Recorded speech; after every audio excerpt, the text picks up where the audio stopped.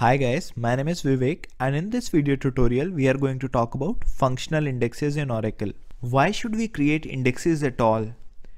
We create indexes for the simple reason that they help us in accessing small chunk of data faster in certain scenarios. In short, they help us in optimizing the query performance. And on which column should we create an index? Columns which are referenced in where and join clause usually form good contenders on indexing. Now by default, when we create an index, a B-tree index is created in Oracle. Guys, if you have not watched my previous videos on indexing, I will highly recommend you watch those videos after the completion of this one. I will drop a link to them in the description of this video. So as I said, by default, Oracle creates a B-tree index. So how is functional index different from a traditional B-tree or bitmap index? Let's understand it with the help of this example. We have an employee table here that has two columns ID and name. We want to retrieve all the rows where name is equals to Vivek. And we have created a B-tree index on column name. So our query will look something like this. Select all from employees where upper of name is equals to Vivek. When we run this query, the optimizer will not use the index.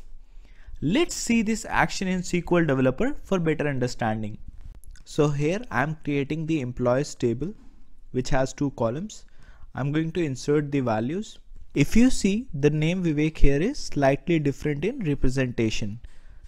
I'm going to create an index on the table the index is created. I will analyze the index and validate its structure so that the index becomes active. I will quickly run the normal query to demonstrate that if I don't specify the upper clause, only one row will be selected. So that has happened. Let's see when I don't use the upper clause, I run the normal query, the index that I've created, whether it will be used or not. So I've run the explain plan. Here you see it has done a index range scan because we have not specified the index as unique which is why it's doing a range scan but the important part is that the index is still being used. Now I'm going to run the query where I'm going to add a function to my column. So the name of the column is name and I have attached a function upper to it. When I run this query normally, it will give all the three results. Let's see what explain plan was used behind this query. Guys, this is very important. Instead of using the index, though we have an index created on the name column, when we have used a function along with that column, that index was not used. Instead, the optimizer decided to do a table access full a full table scan. That means the index was not used. And this is the main crux of the entire video.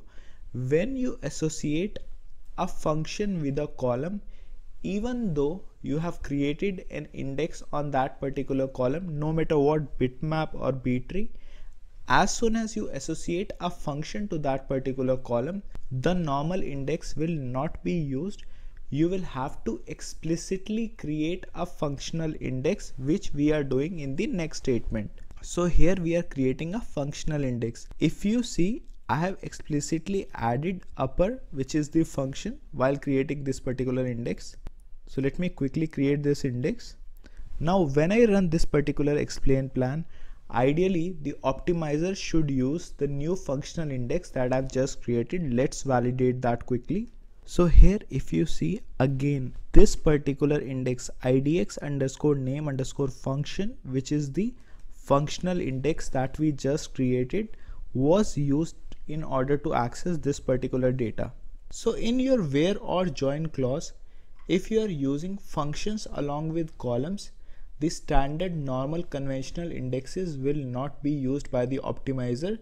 You should consider creating functional indexes they follow the exact same rule as the normal indexes.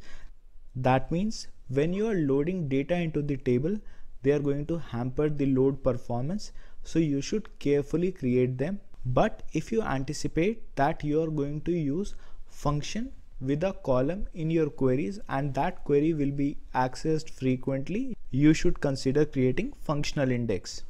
Now let's try to understand it with another example. We have a location table that has two column ID and location name and the initial three characters of the location name represents a country or a region. For example, here ID number one represents India and the later part represents a city. So here it's Delhi for ID number 2 it's Japan and Tokyo and for ID number 3 it's Middle East region and Dubai. Now as a part of this query I want to get all the rows that pertain to India but prior to that I'm creating an index on the column location name and as I've mentioned earlier by default a b-tree index is created. I'm going to validate the index so that it becomes available to the optimizer. Let me run this query real quick to show how it's going to look like. Here I'm going to see rows that are pertaining to India. So here I see ID1 and IND Delhi. When I run the explain plan for this particular query, as I've mentioned, since I'm using a function here, the index that I have created, the normal b-tree index, it should not be used. Let's quickly validate that. So here it's doing a table access full and imagine if we have around billion rows in the table and only 5% of those rows pertain to India, we are still doing the table access full, which is not a good idea. In this case, what we can do is we can create a functional index that is going to look like this. So as soon as we execute this particular statement, Oracle creates an index and when a new row is inserted, it will compute this particular value and store it at a particular location so it becomes accessible at a later stage when it is being queried. Now when I run the explain plan again for the same query, now that I've created a functional index, ideally it should go ahead and use it. Let's validate that real quick. So again, since I've not used the unique keyword, it's going to do index range scan, but it has started using the index. Guys, one important point here. Even though you have created a functional index, there will be times when the optimizer will think that it is better to do table access full instead of using the functional index because that will be more cost effective. So not every time or just because you have created the functional index and are using that in the where clause, that does not guarantee that the functional index will be used in the query it is up to the Oracle optimizer to decide what is the most cost effective plan and based on that it will decide whether it should use the functional index or not. Now that we have seen how functional indexes work, let's understand some of the use cases where we can implement functional indexes. So we have already seen substring and upper. The next one where functional indexes are used very often is date conversion. So at times the data will have timestamp and we want to run our queries against a particular date. The same concept applies here. If we use a function with the column, the index will not be used unless we create a specific functional index for the same. The next use case is round. So if we have a value that is in decimal and we want to compare it to an integer or in a specific format, since we have used an implicit round function it's not going to use an index. We will have to explicitly create a functional index for that. Pre-compiled calculation or arithmetic expression is another very important point. For example we know that in our query we are going to use a calculation pretty often we can save that arithmetic expression or pre-compiled calculation as a functional index. And guys these use cases are very relevant and are used frequently in the industry. That's why i've listed them. Apart from these as well there are a number of use cases where functional index can be used.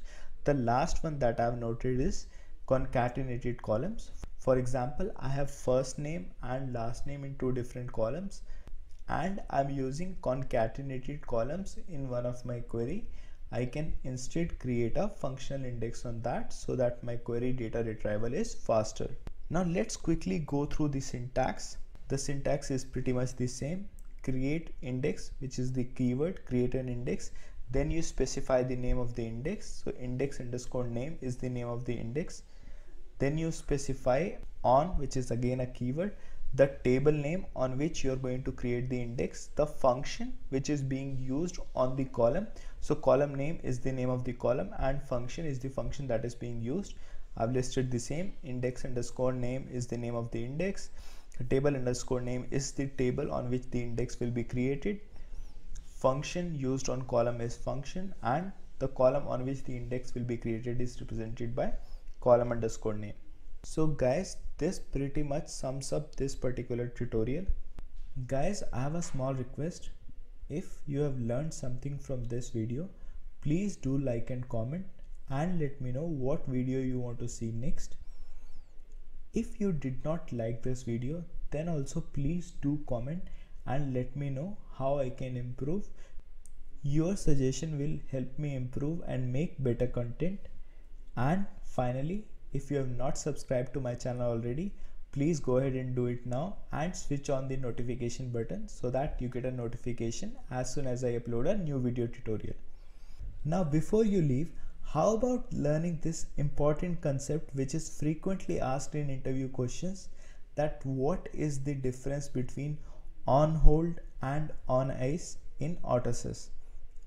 This question is asked very frequently in autosys interview question. Watch this 2 minute short video to know what is the difference. Thanks a lot guys for watching this particular video and I'll see you in the next one.